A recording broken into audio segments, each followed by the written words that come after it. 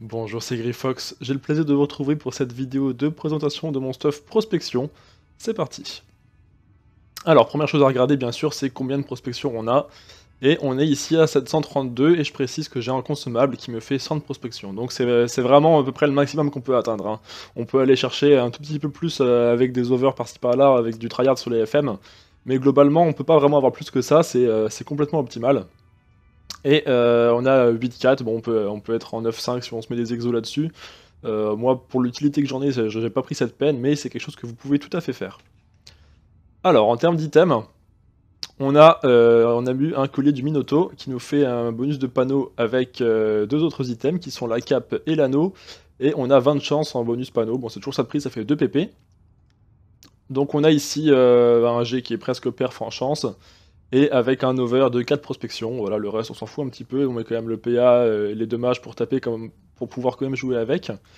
Euh, du Minoto, pareil. La puissance, les dommages sont maxés, sinon la chance et euh, un petit over de prospection. On est ici à 26 sur 20, c'est pas trop mal. A noter que sur tous les items, le maximum que vous pouvez avoir, c'est 33. hein.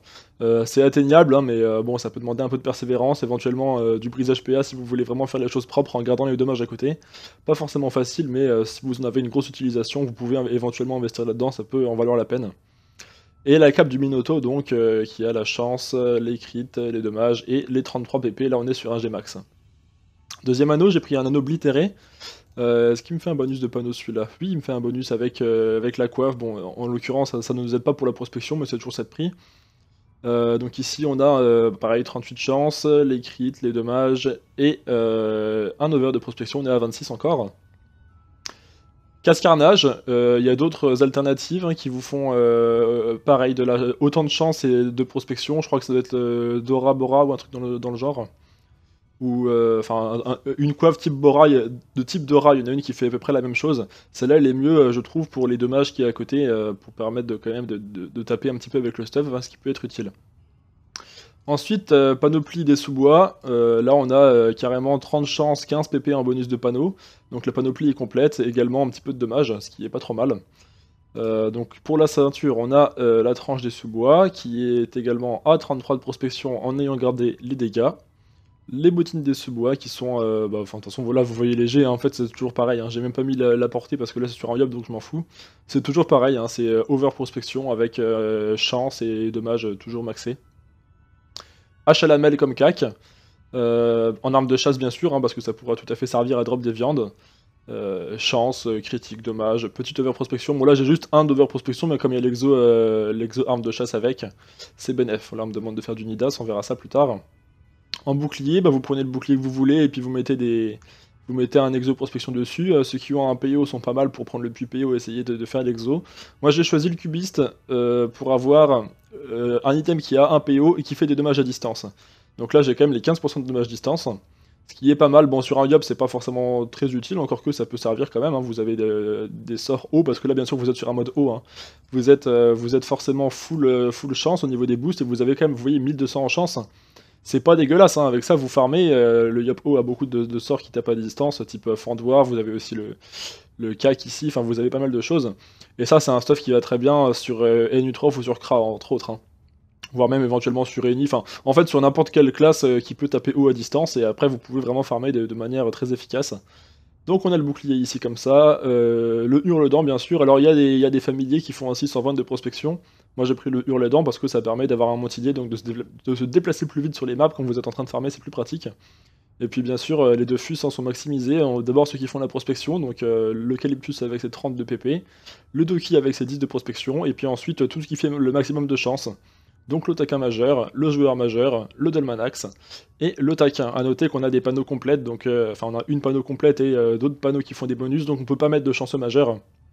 Mais on est quand même sur quelque chose de pas mal du tout comme ça. Euh, ce stuff, je m'en sers euh, principalement pour euh, farmer du drop sur récoltable, type sève de tremble ou ce genre de choses, hein, soufflé, ce genre de ressources qui sont quand même vraiment intéressantes. Là, typiquement, si on prend pour le. Si je me mets avec les idoles. alors je vais vous montrer les idoles parce que vous allez me poser la question si je le fais pas. Voilà les idoles pour optimiser du drop sur récolteur. J'ai vu beaucoup de personnes sur YouTube farmer avec des choses inférieures à ça, je comprends pas trop. Euh, je pense par exemple à Joystick qui est en score 444, j'ai regardé un peu ses vidéos, je comprends pas pourquoi il met pas un 456, hein, c'est quand même mieux de tout maximiser. Bref, donc là on a, on a un score d'idole vraiment conséquent qui est tout à fait adapté à du farm de récolteur, et si on regarde au niveau du bestiaire, on va aller ici, protecteur de ressources, protecteur des arbres, parce que bien sûr c'est la sève de tremble hein, qui nous intéresse, hein, tout le reste est anecdotique quand même. Sur le tremble, on est à, euh, vous voyez, entre 3,6 euh, et 4% pour le drop sans chal. Donc avec chal, vous montez encore au-delà de ça. Euh, avec des tels taux de drop, le, drop de sève de tremble, ça vaut actuellement 15 millions. Hein, je précise, là, le prix moyen est faussé. Ça se vend à 15 millions et ça se vend très bien. Il y a une forte demande pour ce genre de choses. Avec un tel taux de drop, là, on est plus sur du drop rare. Hein, on est juste sur du farm et vous en chopez pas mal. Donc euh, voilà, une des utilités de ce stuff. Sinon, ça peut servir aussi, euh, bah, bien sûr, pour du drop Vulbis. Vous mettez carrément toute une team comme ça, vous farmez avec les, dégâts à distance, la chance que vous avez, vous mettez tous vos persos hauts, c'est très efficace. D'ailleurs, je peux même éventuellement aller vous montrer un putsch. Hein. Pourquoi pas. Euh, village. J'aurais même pu aller à celui près du, donjon Dragoff hein, pour la petite référence au Vulbis. Bref. Et sinon, euh, ça peut aussi servir, euh, par exemple, quand vous avez des quêtes avec des choses à dropper sur des mobs, vous savez, ce genre de truc un peu chiant où il faut farmer des zones pour euh, récolter les 10 machins à dropper avec un faible taux sur les, mobs de la zone.